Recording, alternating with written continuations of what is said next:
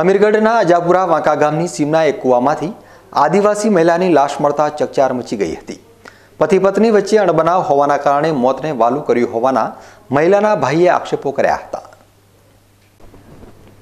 અમીરગઢ તાલુકાના અજાપુરા વાંકા ગામની સીમમાં આવેલ એક માલિકના કૂવામાંથી આદિવાસી મહિલાની કોહવાઈ ગયેલી લાશ મળતા અનેક તર્ક વિતર્કો ગ્રામજનો દ્વારા કરવામાં આવી રહ્યા છે.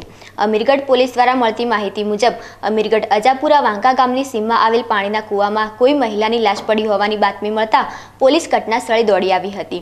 ત્યારબાદ મહિલાની લાશને કૂવામાંથી બહાર નીકાળવા માટે સ્થાનિક લોકોની મદદ લઈ કોહવાઈ ગયેલી લાશ હોવાથી ખાટલામાં મૂકીને બહાર કાઢવામાં આવી હતી.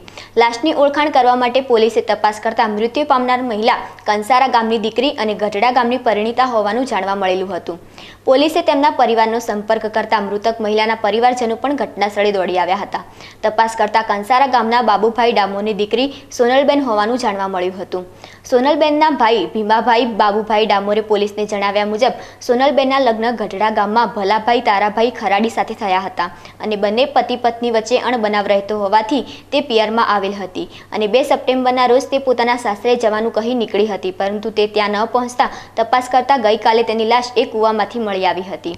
પોલીસે એડી દાખલ કરી આગળની તપાસ હાથ ધરી છે અને આ યુવતીની કુહવાઈ ગયેલી લાશને પીએમ કર્યા બાદ વાલી વારસોને સોંપવામાં આવી હતી.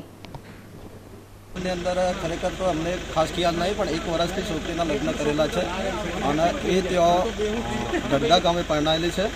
થોડું એમના કુટુંબને પૂછવાથી થોડું અંદરો અંદર ઝઘડા જેવું હતું બાકી કેટલા સમયથી પડી બીજી તારીખથી આ છોકરી ઘર છોડીને નીકળી ગઈ છે.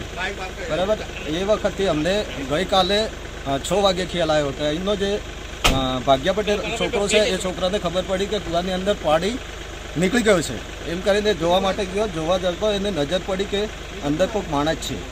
પછી અમને આજુબાજુ જાણકારી, પોલીસ મિત્રો બી અહીંયા રાત્રે બહુ મોડું થઈ ગયું હતું. એના હિસાબે અત્યારે અમે એને બહાર કાઢી છે. અને હાલ પોસ્ટમોર્ટમ માટે અમે ઘરની